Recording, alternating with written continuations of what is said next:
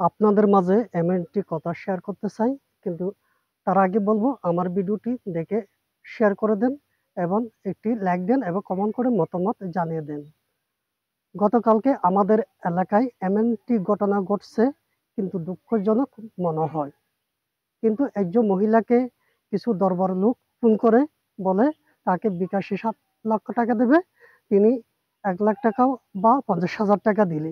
ওই মহিলাটি বিকাশের দোকানে গিয়ে দুই এক টাকা পেমেন্ট করল দুইবার। কিন্তু আরবার পেমেন্ট করতে গিয়ে বিকাশের দোকানওয়ালা বলছে, এই টাকা কার জন্য?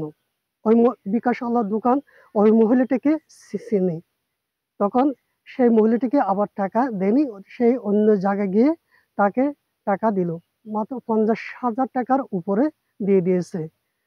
তিনি যখন বাড়িতে এসে টাকা পাচ্ছে না, এর জন্য খুবই একটি এই যে বেহুশ হয়েছে মা বা স্ট্রোক করছে এরকম মতো হয়ে গেছে।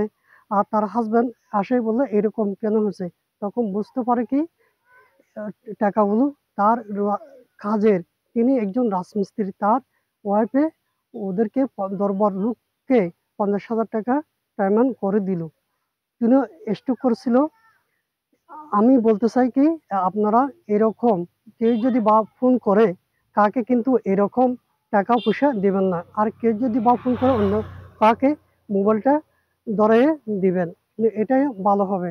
আর কেউ যদি অযথা বা রং নম্বর কল আসে, আপনারা অবশ্যই এই কথা বলবেন না। আপনারা সবাই ভালো থাকবেন। আল্লাহ হাফেজ।